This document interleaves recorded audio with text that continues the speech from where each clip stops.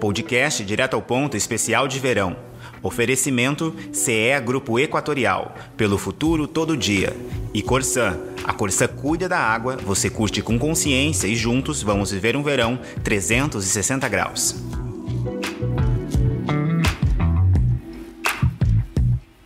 Como todo verão, a praia é o destino de diversos gaúchos nessa época do ano. Há quem prefira curtir sozinho, mas há também aquele que gosta de levar a família toda, inclusive os pets, seja cachorro, gato, papagaio e por aí vai.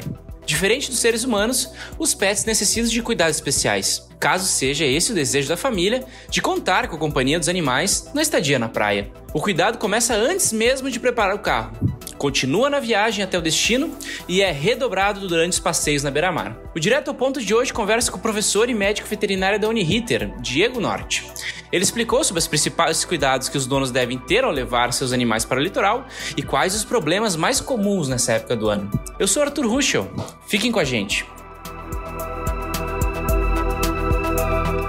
Diego, eu queria estar te agradecendo por estar cedendo esse tempinho ao Direto ao Ponto, a tua disponibilidade por atender os do Correio do Povo. Muito obrigado pela tua participação. Ô Arthur, não precisa agradecer, cara. É um prazer imenso estar aqui é, conversando contigo e, e, com todos os, os leitores, né, e com todos os ouvintes aí do, do Direto ao Ponto do Correio do Povo. E eu espero de alguma forma poder contribuir aí com, com conteúdo. Perfeito. Bom, a primeira pergunta que eu lhe faço é: o senhor, pode ser uma pergunta até estranha para um médico veterinário, mas o senhor tem pets em casa? Cara, eu tenho pets, isso não é, não é uma pergunta estranha, bem pelo contrário. É, geralmente as pessoas acreditam que, que ser veterinário é gostar de bicho, né? Ou, ou para ser veterinário tem que gostar de bicho, obviamente que sim, mas tem um detalhe que para ser veterinário tem que gostar de tratar de bicho e gente sabe, né, que a vida é um pouco, um pouco tortuosa. Em alguns momentos a gente não está é, emocionalmente é, habilitado para cuidar de ninguém, enquanto mais de pets. Então, Uh, não, não há motivo nenhum para um veterinário não ter cachorro, não ter gato, não ter né, nenhum tipo de. E pet. o senhor tem gato ou cachorro? Eu tenho gato e cachorro. Quantos? Os dois. Eu tenho um gato e uma cachorrinha. E o senhor costuma levar, e o senhor costuma levar eles quando está pensando em férias, está pensando em praia? O senhor costuma levar toda a trupe para o litoral ou deixa, deixa em casa? Como funciona? Pô, cara, isso aí é, uma, é, um, é um estudo de logística. Não, não é uma regra de ou vai ou não vai geralmente é, a minha cachorrinha, né, os cães, eles são muito mais propensos ao deslocamento. Então a Coca viaja muito mais com a gente do que o caramelo, que é o gato. Geralmente intervalos menores do que 48 horas eu não tiro o gato dentro de casa, cara. É um estresse para ele mudar de ambiente, caixa de transporte, caixa de areia, é Sim. bem complicado.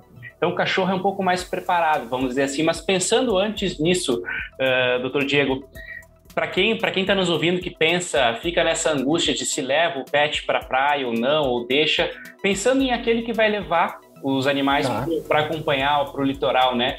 Quais uhum. são os primeiros preparativos que devem ser feitos, assim, pensando no deslocamento do animal, no espaço dentro do carro, alguma questão relacionada à medicação, alguma coisa assim? Como são os primeiros preparativos?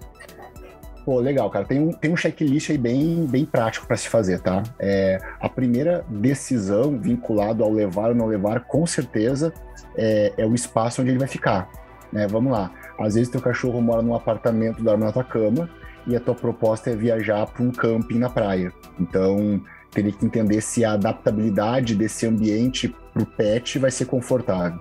Mas uma vez que a gente tenha decidido que sim, ele vai conosco, é, eu preciso ter certeza de que protocolo vacinal e antiparasitário, né? É, pulgas, carrapatos estão todos em dia.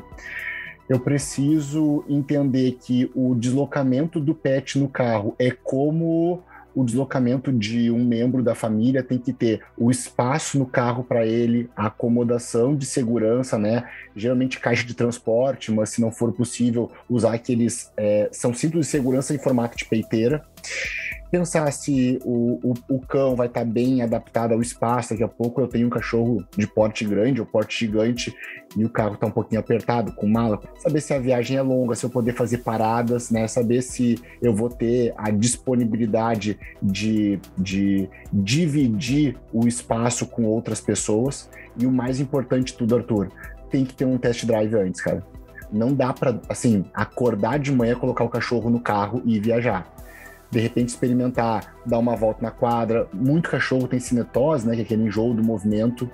Saber se daqui a pouco o cachorro não vai ficar estressado, se ele não vai é, chorar, latir, uivar, vocalizar. Então, eu sugiro sempre é, alguns testes de adaptação ao andar de carro.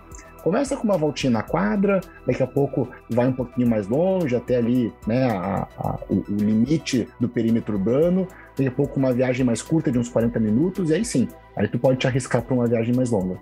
E, quando, e já pensando na viagem, doutor Diego, quando o cachorro, o animalzinho, o gato já está dentro do carro, por mais que ela seja longa ou não, a gente sabe que de Porto Alegre até o litoral não é uma viagem tão longa assim, dependendo do litoral do Rio Grande do Sul, né? Mas e, da, e da estrada também, né? Da estrada, claro. É, independente da, da distância que for percorrida, quais são os cuidados durante a viagem? Tem que parar para dar uma água para o animal? Tem que ver como é que ele está? Como é que funciona? É, eu, eu recomendo é, intervalos máximos de duas horas sem parada, tá? É, eu sei que não é uma, uma regra de, de todos os usuários né, de, de automóvel, mas se possível pensar na climatização. Daqui a pouco eu não consigo usar o ar-condicionado, eu não tenho ar-condicionado, então escolhe um horário para viagem ameno, de temperatura amena, talvez à noite ou até mesmo de madrugada, mas não mais do que duas horas sem uma parada.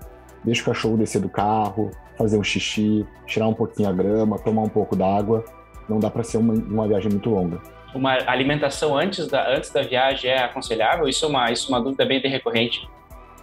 Uh, eu, eu, gosto da ideia de não, de não mudar, de tentar mudar o, men o menos possível a rotina. Então, se o meu cachorro está acostumado a comer às 7 da manhã e a tua viagem é às 8 e meia, sim, ele vai comer.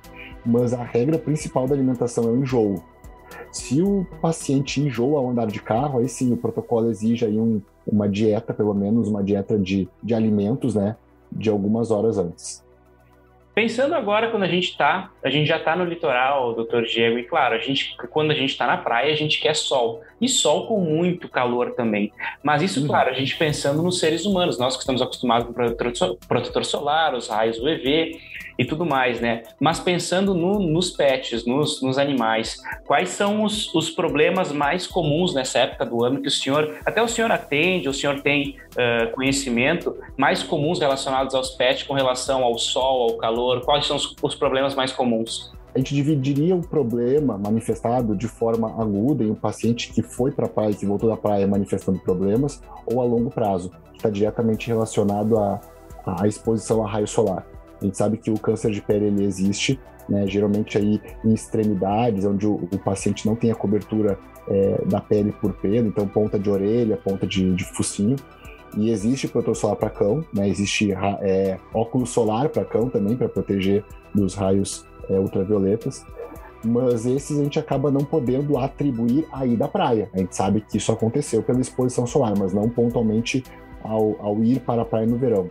O que te mais vê acontecer de forma aguda é as lesões dermatológicas, quer sejam por, por contato à areia e à água, né, que tem um, uma, um equilíbrio é, de sal, o pH bem diferente do que o, o paciente está acostumado, ou parasitária. É muito comum o cachorro voltar da praia com pulga, com carrapato, né? É, com bicho geográfico, assim, essas coisas acontecem bastante. Então, eu acho que o maior cuidado que a gente precisa em relação à saúde na beira da praia é entender que eles precisam de cuidados, assim como uma pessoa que vai para a beira da praia. Precisa de uma boa higiene, precisa de uma boa inspeção e qualquer coisa que chame atenção, leve até o veterinário. É muito importante também, doutor Diego, a gente sabe que quando com essa a relação do pet com o seu dono é, às vezes é muito forte, né? Então as pessoas elas parece que sentem na obrigação de quando vão para a praia, vão para a beira do mar, tem que levar o seu bichinho junto, né? E por causa que querem mostrar também essa, essa imensidão de areia, do mar, né? De fazer o bichinho poder correr na água, na areia, mas uhum.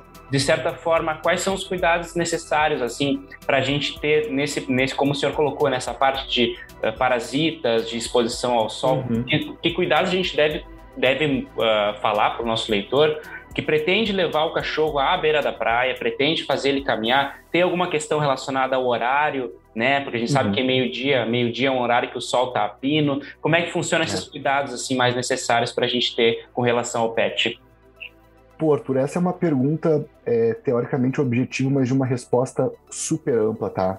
É, eu vou tentar ser o mais, o mais uh, objetivo possível na minha resposta, mas lembrando que a gente tem que levar em consideração não só a saúde do, do meu pet, do, do, do, do paciente em que eu estou cuidando, mas também a questão da saúde pública, porque o cachorro ou o gato, ele, ele é um animal em via pública, então naquela areia que o cachorro caminha, né, eu, eu também tenho outras pessoas transitando, e eu tenho também a questão é, dos animais de vida livre, né, e no nosso litoral aqui, o litoral norte principalmente, é muito comum o cachorro, né, ou o gato, ele, ele perambula pela, pela praia. Então, assim, eu sempre recomendo que a gente é, mantenha os mesmos hábitos de educação do passeio que a gente deve cumprir todos os dias. Então, o cachorro sempre na guia, levar o saquinho né, para juntar o cocô na beira da praia, evitar a exposição do, do pet a, a um grupo de, de pessoas ou até mesmo de outros animais, porque ele pode não entender essa interação e aí eu posso sofrer ou com o meu paciente é, de alguma forma sendo agredido, ou por xingamentos, ou até mesmo por outro cachorro tentando né, atacá-lo, como o meu pet pode entender que aquilo não é bom para ele e ele se transformar em, em, alguém nocivo ou agressivo. E isso é muito complicado em discutir, porque a gente sempre idealiza que né, o nosso cachorro, aí o nosso gato, nossa, é, é, é parte da família, eles são super bacanas, mas a gente está expondo eles a algo diferente, a algo novo. Então, eu sempre digo para que o bom senso impere, que a gente lembre que a praia é um ambiente público em que nem todo mundo precisa gostar de cachorro ou tão pouco de cachorro consigo na beira da praia. Então a regra é fazer com que a gente não ultrapasse o limite da outra pessoa. Leva na coleira, procura um horário de pouca incidência de banhistas, né? Ao amanhecer, ao final da tarde, não tem por que tu expor o cachorro ao sol do meio-dia para tomar banho de mar, não, não faz sentido. Então, tenta é, proteger ao máximo a exposição dessas interações sociais que podem ser bem complicadas de organizar.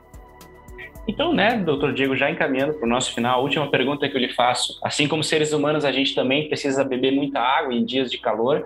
Como que funciona essa questão de hidratação do animal e também a questão dos banhos, né? Porque a gente sabe que como a gente, como o calor é excessivo, ah, tem as pessoas tendem a achar que o, o bichinho por ele querer se, se refrescar, dá um banho de mangueira, né, de gelado, coisa assim. Mas quais são os cuidados que se deve ter com relação aos banhos? Deve ser diário, né? Um banho para o animal para se refrescar e principalmente claro. com a questão da hidratação do animal.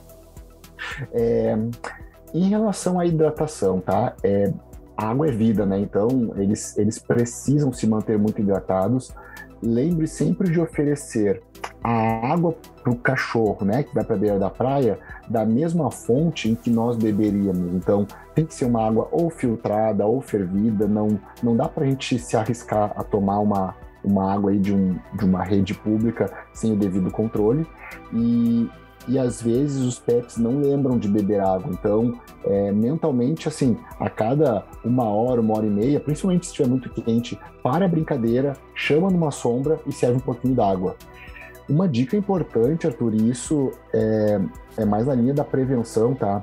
Principalmente os cães de grande porte manifestam uma alteração importante abdominal chamada torção gástrica.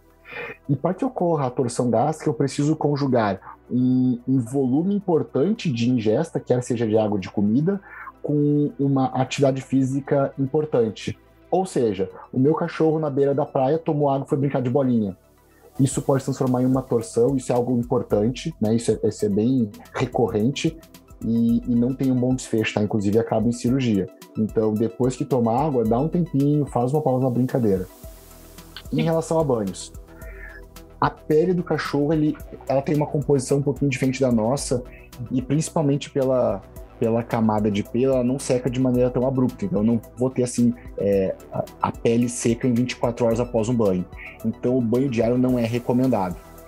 Talvez uma estratégia importante seja entender é, quando esse cachorro vai ser exposto à areia, à lama ou à água salgada, e aí na sequência disso sim dar um banho nele. Agora, diariamente dar banho não é saudável. Perfeito, então, doutor Diego. Queria estar lhe agradecendo por essa tua disponibilidade e agora deixar um último recado para quem está em dúvida ainda de se leva o pet para a praia ou não, se deixa, se deixa com algum em algum hotelzinho. Um recado que o senhor queira deixar para os nossos, nossos ouvintes. Pô, Arthur, eu, eu acho que o mais importante, né, e quem tem cachorro, quem tem gato, é, entende perfeitamente isso, é, é lembrar que, que acima da nossa satisfação em tê-los conosco, a gente quer o bem-estar dele, a gente quer né, manter ou zelar a qualidade de vida. Minha dica, tá?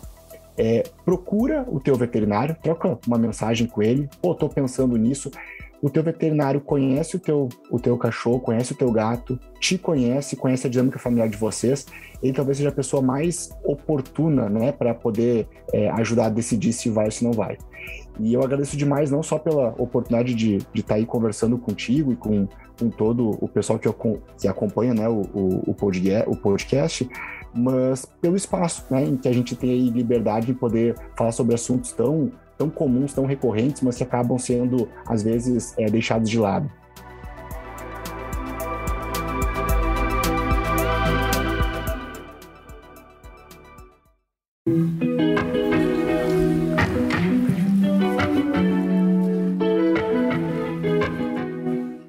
Boletim de Notícias do Litoral. Gestores municipais do litoral comemoram a aprovação da PEC que extingue terrenos de marinha. Na prática, a medida deve representar mais facilidade na gestão dos territórios que antes pertenciam à União. Sexta-feira pré-carnaval é de sol e vento na beira da praia em Tramandaí. Temperatura é agradável e a água está limpa. Rio Grande do Sul tem um ponto impróprio para banho, aponta penúltimo relatório da FEPAM. Local não recomendado fica em Pelotas. Esse foi mais um Direto ao Ponto. Se você perdeu algum episódio, é só voltar no site do Correio do Povo na aba Podcasts. A apresentação foi de Arthur Ruschel e a edição de som de Aleph Alencar. Até mais!